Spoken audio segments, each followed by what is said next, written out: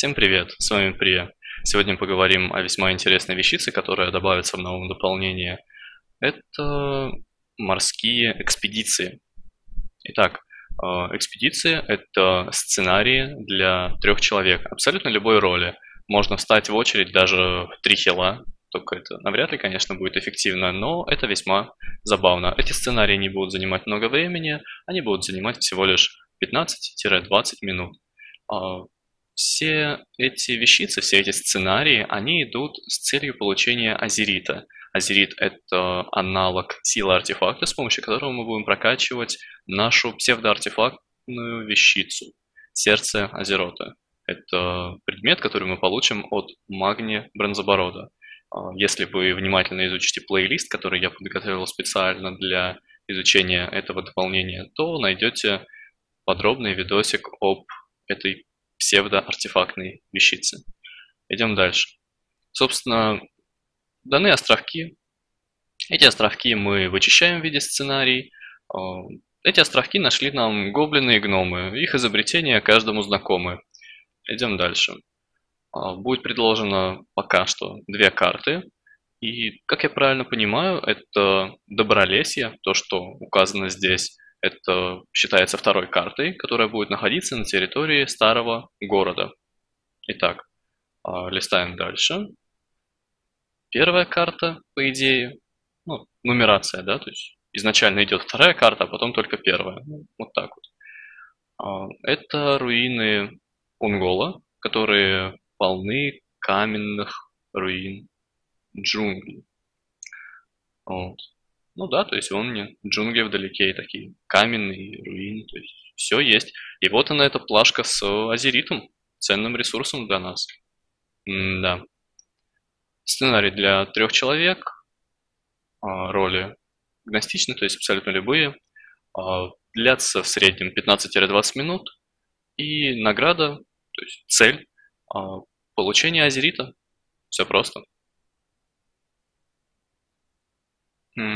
Так. Сейчас мы все это дело переведем. Я подготовил текст, я подготовился, да.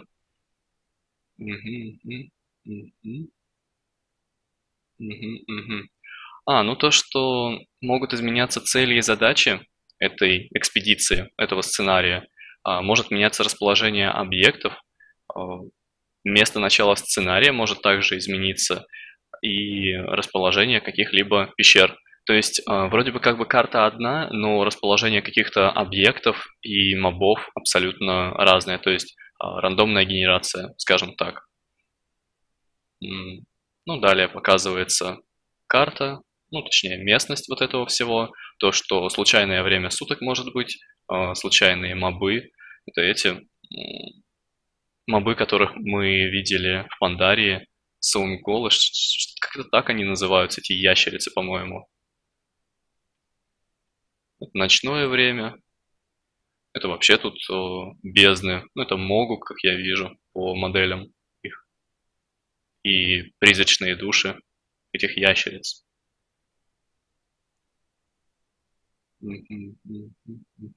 А, ну это то, что я уже ранее сказал, то, что абсолютно все на этих островках а, случайно, и что мы можем находить на них абсолютно все, что только захотим.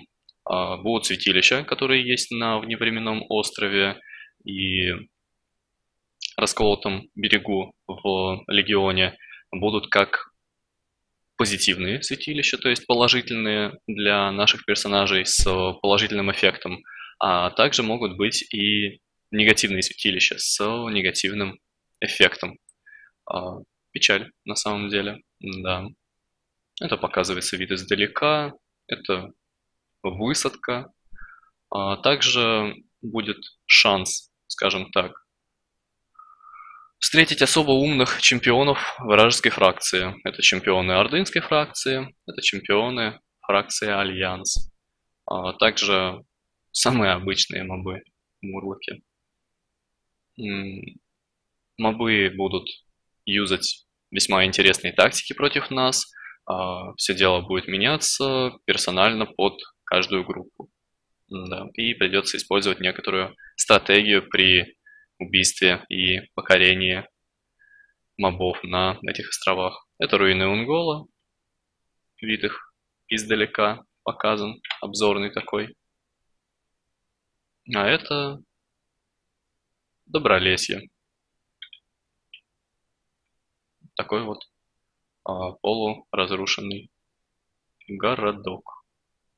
Да. А, какую еще информацию могу сказать? То, что у этих экспедиций будет 4 уровня. Обычный уровень, героический уровень, эпохальный уровень и уровень PvP. А, далее, что еще можно сказать? А и все. Пока что это абсолютно весь контент, который дан по поводу этих экспедиций, и абсолютно вся информация, которая только изложена на различных фан-сайтах по типу MMO Чемпиона, Noob Club и каких-либо прочих догадок от людей с Twitch-чата. Да. Всех вам благ, счастья, здоровья, не болейте, говорится, берегите ноги, легендарок вам побольше. А, не забывайте делать подписос и ставить лейку. До скорого!